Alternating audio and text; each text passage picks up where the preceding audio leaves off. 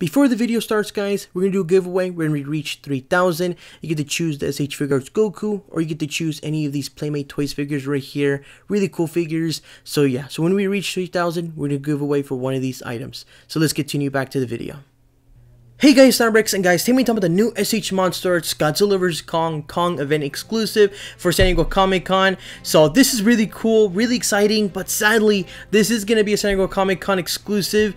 I'm just really hoping they do uh, have this available for Premium Bandai. Usually, sometimes they do that, but I guess we'll wait and see. Um, the thing is, I'm really hoping they do do that because the aftermarket, of course, is going to be a lot of a lot of money. Most likely around 150, around 200 dollars for the aftermarket, and I don't know if I'll buy that for that price. For 90, it does seem pretty high, but does come some really cool accessories and some really cool detail with the Kong figures. Let's actually look at them right now. Here's the first one right here. You can see some battle damage around him right here. The scratches look really cool. You can see some scratches around his head, the side of his fur right here. You can see some, of course, um, detail right there. You can see around the body, the legs. The thing is, I kind of wish they did a little bit more. Like, he looked more dusty end of the fight right there, if you do remember. He looked more, of course, like that. So that's one of the one things I'm disappointed by.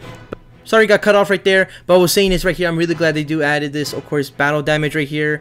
But I do prefer, I wish they did add more detail of um, more, of course, Dusty and everything like that. But still really cool they added this.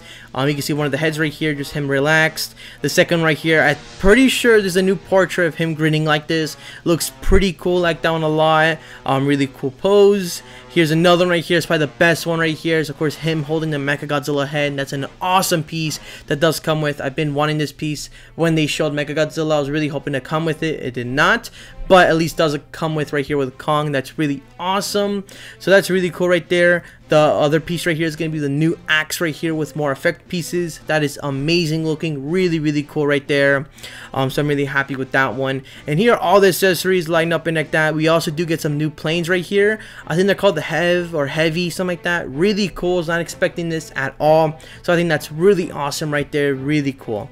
Uh, another thing is you do get other, of course, hands for the figure right here. You can see it right in the corner corner. So that's of course pretty cool. So I think this right here for 90 bucks, that's not too bad. You do get the Mechagodzilla head, you do get the little planes, and I'm pretty sure you get the extra head right there. And you do get a, effect piece on the axe right here. So I think that's really cool. Uh, with the battle damage and like that, it's pretty cool actually, I would say. And I'm actually really glad they did this instead of doing like a new color version for Godzilla. Like a couple times they did it for, um, technically they did the Burning Godzilla right, but the painting wasn't fully there. Um, the last one they did was the blue version of Godzilla, and that one looked horrible. I think it's called like the Candy Crunch or something, I forgot.